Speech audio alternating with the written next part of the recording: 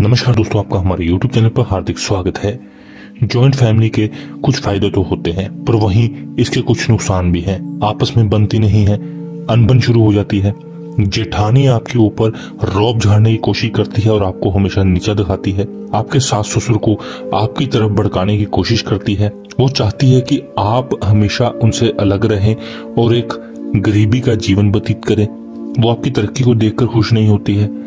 आप चाहते हैं कि किसी न किसी तरह से आपकी जिठानी को वश में किया जा सके ताकि आप उस जिठानी को वश में करके एक तो अपने जीवन से दूर कर सके और अपने मन चाहे कार्य से निकलवा सके।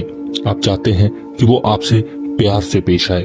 तो ये वीडियो आपके लिए उपयोगी होने वाली है, क्योंकि गुरु माँ सुरो देवी जी एक ऐसा ही उपाय आपके लिए लेकर आए हैं, जिससे कि आप उस औरत को हमेशा के लिए अपने वश में कर सकते हैं। आप अपनी जेठानी को वश में करके अपने जीवन से जो भी कटाश वो आपके जीवन में भर रही है, दूर कर सकते हैं। गुरु माँ सरो देवी जी का ये बेहतरीन उपाय है। आइए जानते हैं इस उपाय की पूर्ण विधि के बारे में।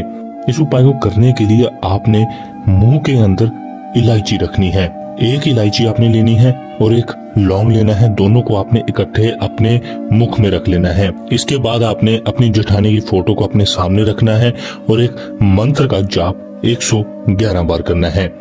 जैसे ही मंत्र जाप कंप्लीट हो, आपने इस फ़ोटो के ऊपर हल्के से फूंक मारनी है। ध्यान रहे, जो इलायची और लौंग है, इसको आपने चबाना नहीं है। जब आप ये कार्य पूर्ण कर ले तब आप इस इलायची को चबा सकते हैं। पूरी तरह चबाने के बाद आपने इस इलायची को चलते हुए पानी में थूक देना है। बस इतना सा उपाय करने की देर होगी कि आपकी जेठानी हमेशा के लिए आपके वश में आ जाएगी। दोस्तों, ये वशीकरण इतना शक्तिशाली है कि कभी भी इस वशीकरण से आप छुटकारा नहीं पा पाएँगे। ये इतना शक्तिशाली उपाय है कि इस वशीकरण का कार्ड किसी के पास नहीं है। तो अगर आप इसको अच्छे से करना चाहते हैं इसके बारे में और जानकारी चाहते हैं तो बिना देर करते हुए स्क्रीन पर दिए गए हुए नंबर पर कॉल करके आप गुरु माँ सरोज देवी जी से संपर्क कर सकते हैं।